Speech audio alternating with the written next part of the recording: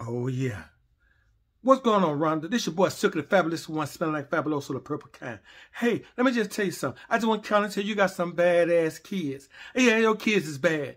I was at the school substituting today, and your kids is bad. Your kid gonna ask me, hey, Mr. Silky, do you got some? I say, some candy? They say, no, nah, we want some melatonin. I said, what the hell y'all want melatonin? Y'all need to just take y'all bad ass to sleep. They said, no, they wanted the melatonin so they can sell it in school.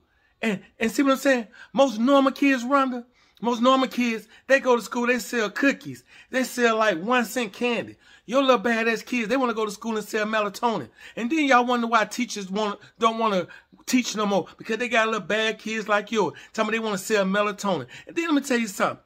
Don't invite us back to your house no more when we have a teacher parent conference because every time I come to your house, that same damn roach always pulling up to the table talking about, hey, don't mess with the breasts and the legs because if you mess with the breasts and legs, we're going to have problems. So how the hell are Roach going to tell me that we're going to have a, a, problem? First of all, why the Roach is even at the table? Because you know why? Because your house is nasty and you need to do something to the little badass kids.